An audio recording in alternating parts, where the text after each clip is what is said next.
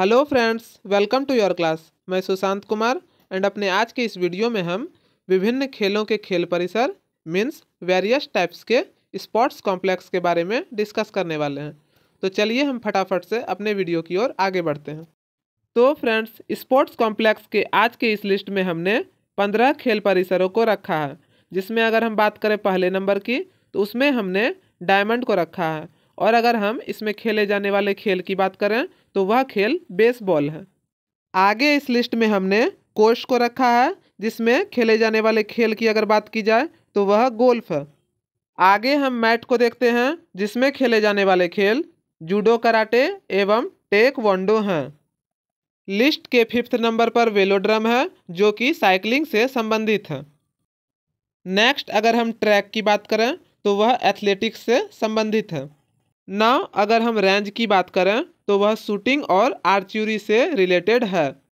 ना, हम कोर्ट की बात करते हैं, जिससे रिलेटेड स्पोर्ट्स हैं tennis badminton netball kho kho squash kabaddi handball and volleyball अगर हम रिंग की बात करें तो वह स्केटिंग और बॉक्सिंग से रिलेटेड खेल का परिसर है। नेक्स्ट अगर पूल की बात करें तो उसमें हम स्विमिंग करते हैं। नेक्स्ट नंबर पर हमारा एल है, जो कि बॉलिंग गेम से रिलेटेड है। अगर अरेना की बात की जाए तो उसमें हम हॉर्स राइडिंग मीन्स घुड़सवारी करते हैं। अगर हम फ़ील्ड पर खेले जाने वाले स्पोर्ट्स की बात करें तो उसमें पोलो फुटबॉल एंड हॉकी शामिल हैं।